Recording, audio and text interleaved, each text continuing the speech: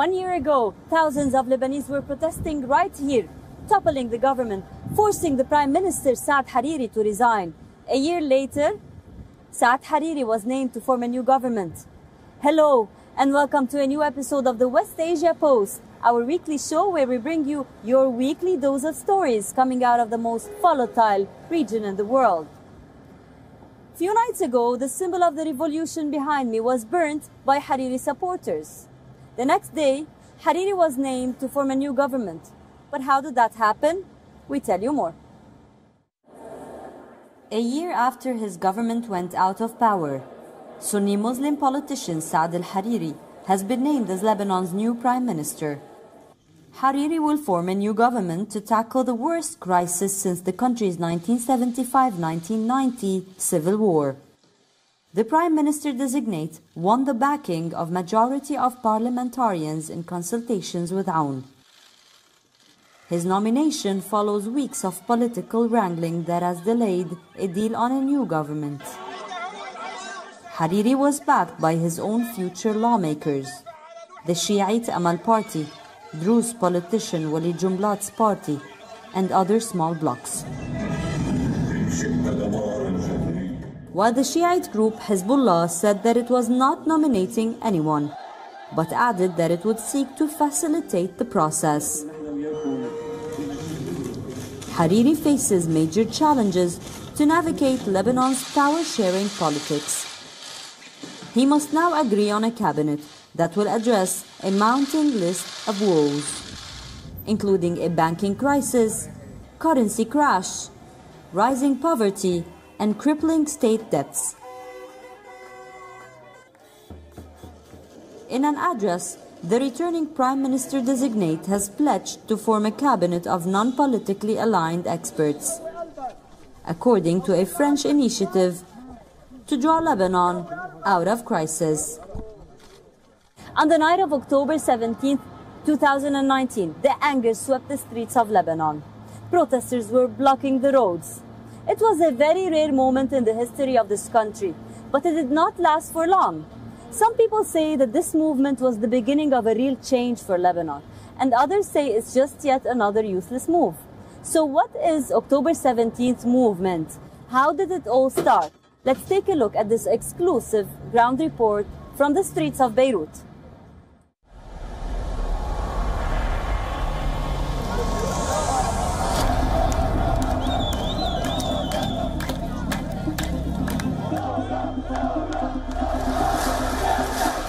For the Lebanese, October 17th is a historical day. On this day last year, everyone in Lebanon, every person, every sect, every social class, every citizen on the political spectrum.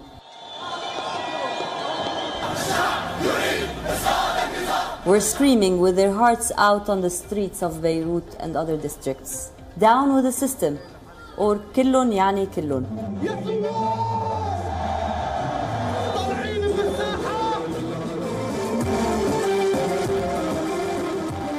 كلن means all of them. Because in Lebanon, the dictatorship is not just one leader. It is the alliance of the sectarian warlord leaders backed up by the symbiotic relationship with the cartels and deep state banking connecting the money to that flawed system.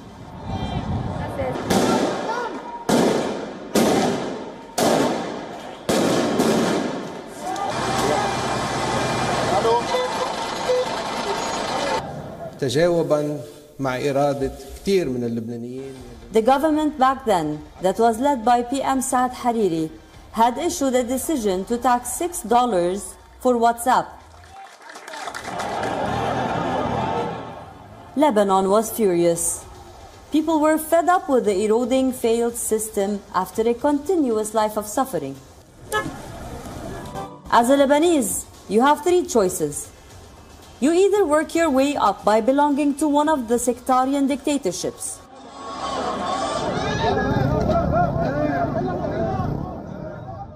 Or you live the struggle, or you simply immigrate. Lebanese people scattered in diaspora around the world are more than those who live in their country.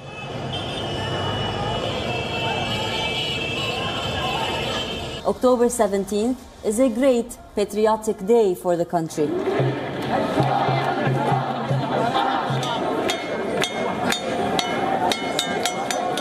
But this fire lasted less than a weekend. Sooner rather than later, the smart intelligence, the biased media, and the living religious based sectarian political divisions started to resurface. The Lebanese people failed to stay united.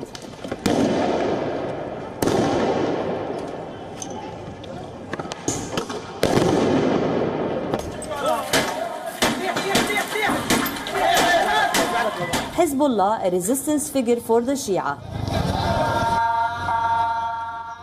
Mentioning the disarming of Hezbollah in the protests first took away half of the people's support. Then, some Hezbollah supporters came back and did this.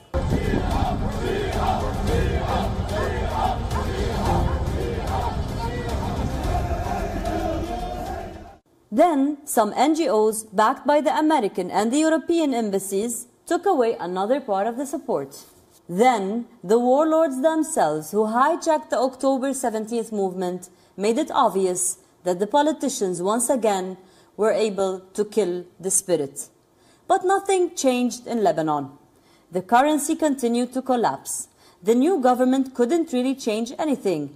And then the Beirut port explosion once again called for the anger.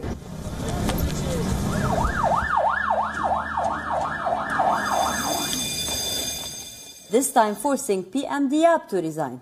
لذلك أعلن اليوم استقالة هذه الحكومة Today, as we say these words, Lebanon awaits a new government formed by the same parties using the same ways. But for some people, the revolution against the system still goes on.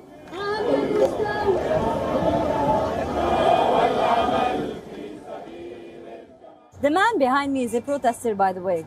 Next in line, we have a very controversial political activist in an exclusive interview.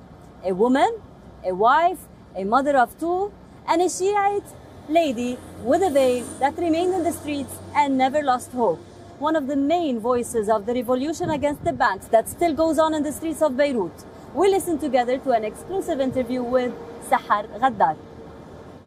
October 17 and few days after October 17, when the general the secretary general of Hezbollah, Sayyid Hassan Nasrallah, asked his people and the people who support the resistance to withdraw the streets and the squares and go out from the protests, it was really a challenge for us, the people who support the resistance against Israel and all the resistant movements in the country, to stay and be the model, the national model with the honest voices in the streets.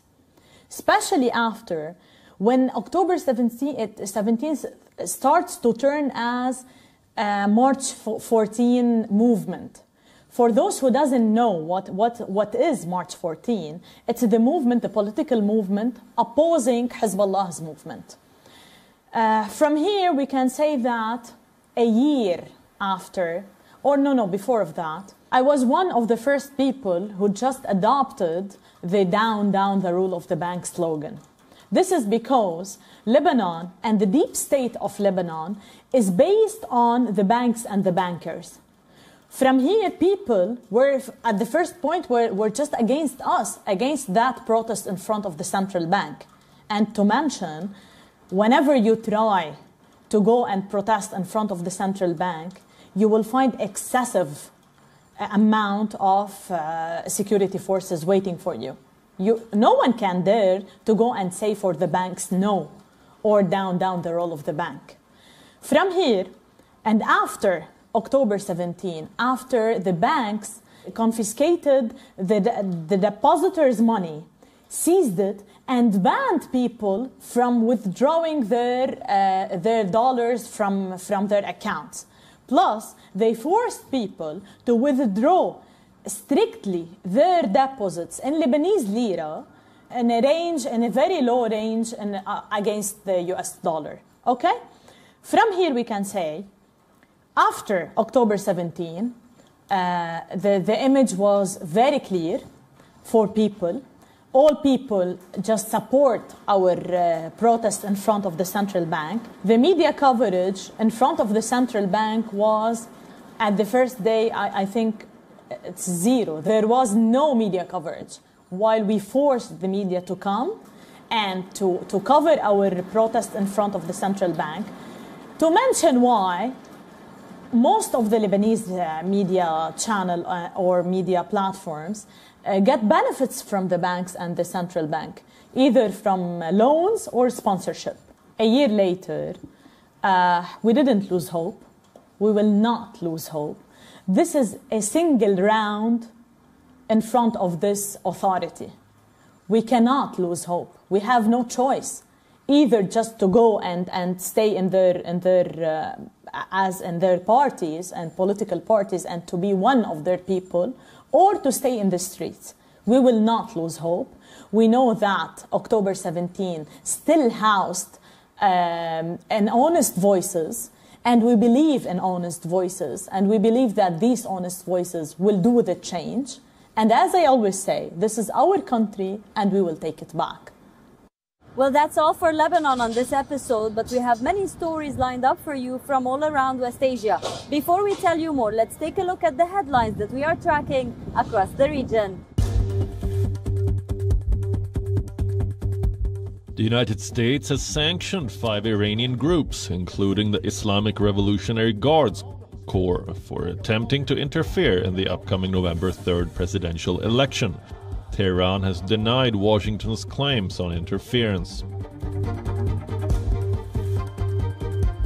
Jordan reports record new daily coronavirus cases, witnessing a massive surge since the start of the pandemic. The West Asian nation now faces a major outbreak with a tripling of deaths in the last two weeks. Lebanese artist create a statue of a lady by using rubble from the Beirut port explosion. The sculpture includes a clock stopping at the moment of the explosion at about 6:08 p.m. on August 4th, 2020. The Israeli military launched overnight strikes in the Gaza Strip after two rockets were fired towards southern Israel. There have been no reports of casualties or major damage on either side. Israel recently approved more than 1,300 new settler homes in the West Bank, pressing forward with its plans to build illegal settlements in the region. Ironically, this comes only months after Israel promised to put its annexation plans on hold in exchange with the US broke deal of normalization with the UAE and the Bahrain.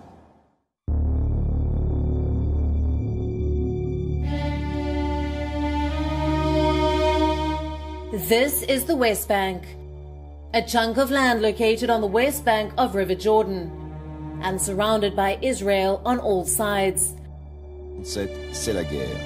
While it was occupied by Israel in the 1967 war, Palestinians claim all of the West Bank as part of a future independent state. But of the 3 million people living out here, Many are Jewish Israeli citizens.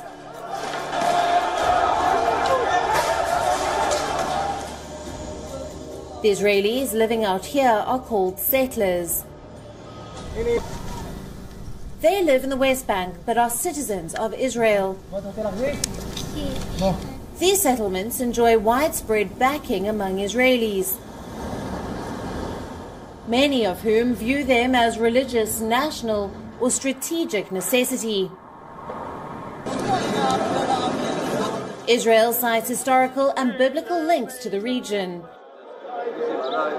And many Jews look at it as an integral part of the biblical land of Israel.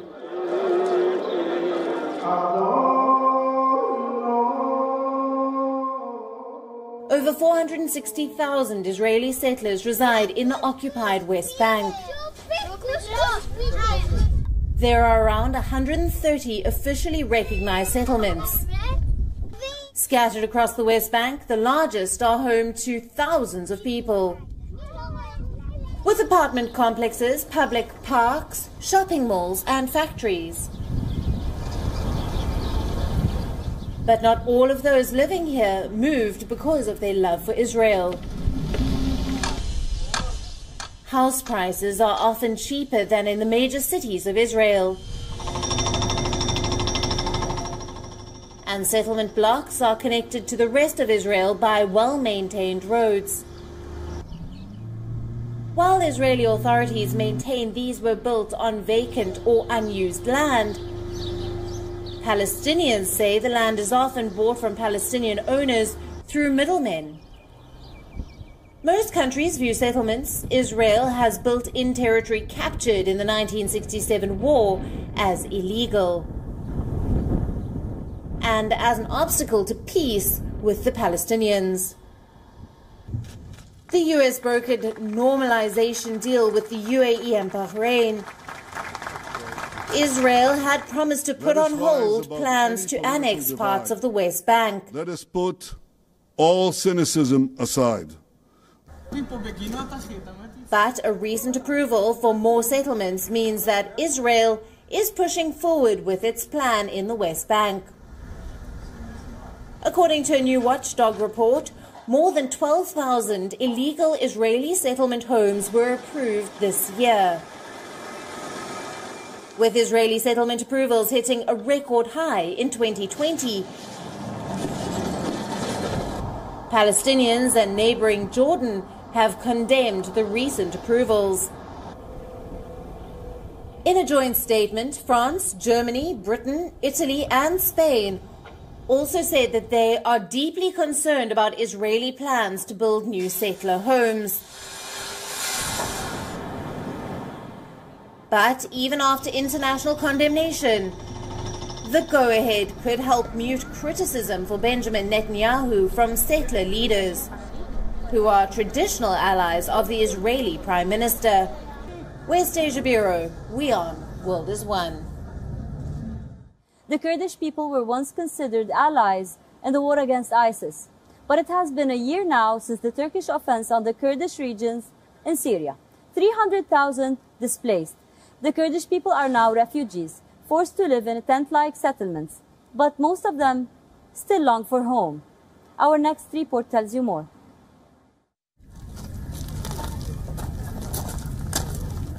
The five-month-old paralyzed baby girl of Wadha Sheikh Mus has only lived in a tent.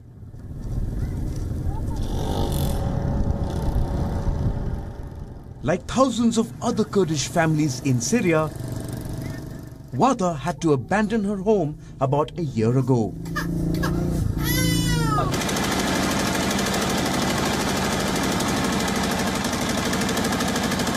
When Turkish-backed forces captured their hometown. In 2019, Ankara launched an offensive against Kurdish forces on its southern border with Syria. Now, over 10,000 Kurds live in camps set up by local Kurdish administrators as refugees within their own country. The 2019 offensive by Turkey on Kurdish land was codenamed Operation Peace Spring. Ironically, it led to the displacement of over 300,000 civilians like Wadha. The UN High Commissioner for Human Rights has warned of growing violence and killings in areas captured by Turkey with desperate need for humanitarian aid. Children living in camps are still unable to go to school. And fears of a lost generation linger. One, two years, God knows. What will the future of our children be? How will my daughters spend the rest of their lives in the tent? When they grow up and become aware, what psychological state will they be in? Most homes and belongings left behind have been seized or looted. The displaced Kurds had hopes of returning to their home one day. But their dreams and their future have been snatched away.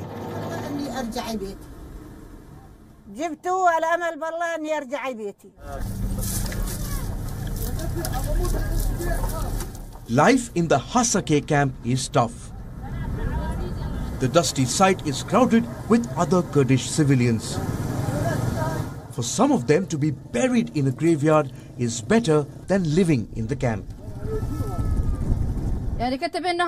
Life in the camp and life in a graveyard are the same. To be buried in a graveyard is better than to be living in the camp. I always tell myself that if I were dead in Ras Al Ain, it would have been better than living in the camp. In the camp, we die a thousand times a day.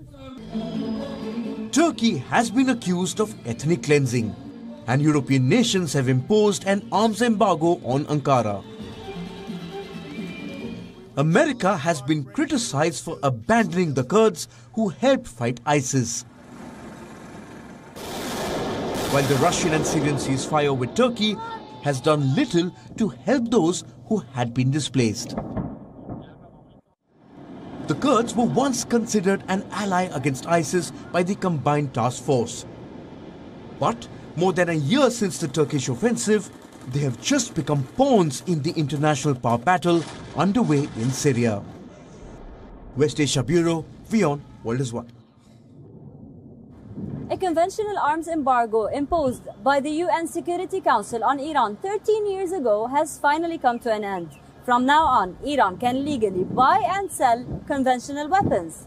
This was hailed as a momentous day for the country, but it is yet to be seen what this will change for Iran globally. Tehran has described the end of UN arms embargo on Iran as a major diplomatic victory against US President Donald Trump's administration. Five years since the Iran nuclear deal went into effect, the United Nations arms embargo on Iran expired October 18th. It is a historic failure for the US that it could not push forward with its intentions in spite of applying deception and unlawful actions in a world that has become multilateral. The Islamic Republic proved once again that America is not the superpower it pretends it is. However, the Trump administration says the UN Security Council has failed in its mission to promote international peace and security by not extending the conventional arms embargo on Iran. One of the reasons that the JCPOA was such an enormous failure is it created a simple pathway for Iran very quickly to generate the fissile material that it needed for a nuclear weapon, right? In a matter of months, they could turn it on and get after it. This, this was one of the central failures of that agreement. In August, the US went to the UN Security Council in an attempt to get the ban extended, but the Council refused. Washington's next move was to use a provision in the 2015 nuclear deal that would restore all UN sanctions on Iran. The US argues that Iran has violated the very agreement that the US has abandoned two years ago. The rest of the world rejected those arguments and have stood by the Iran nuclear deal, also known as Joint Comprehensive Plan of Action. But it is still not clear how many weapons Iran will be able to buy or sell. Russia, however, has signaled that it may be ready to defy the wrath of Washington and sell an advanced missile defense system to Iran. Ours is a northern country. Washington's fight to keep sanctions in place has pitted it against some of its closest allies as the world waits for the results of the November 3rd US presidential election.